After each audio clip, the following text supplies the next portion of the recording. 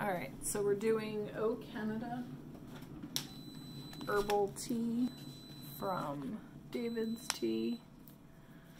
It's apple, rooibos, cinnamon, pure maple syrup, monk fruit, sugar sprinkles that look like uh, little Canadian maple leaves, uh, and, and artificial flavors and stuff. Got some boiling water. Let's take a look. You see? Not sure if you can see that, but there's little tiny, definitely chunks of like apple, uh, cinnamon, and then little tiny maple leaves. Can I get one out? That's not gonna happen, sorry. Alright, it's in four to five minutes, so we're gonna add boiling water. This was two heaping teaspoons of tea in a mug. I may end up having to go heavier later. So be back in five. Okay, and we're back. I've not pulled it out yet. We have a couple seconds, but apple, cinnamon, and baked bread. Yeah, that's not getting the maple syrup. Anyway, so we're at four minutes.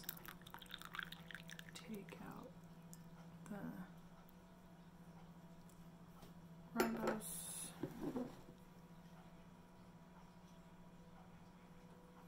Not getting much of a smell off the. Give me a minute to recalibrate.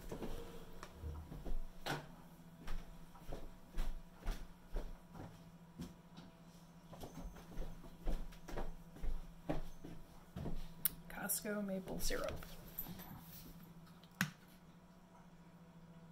Smells like trees. Smells like nothing. If I really look forward to get apple. Apple and rooibos. I guess the rooibos is supposed to be tree-like.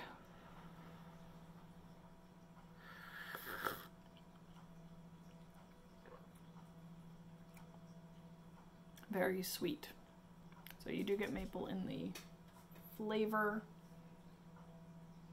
So like a mapley apple flavor.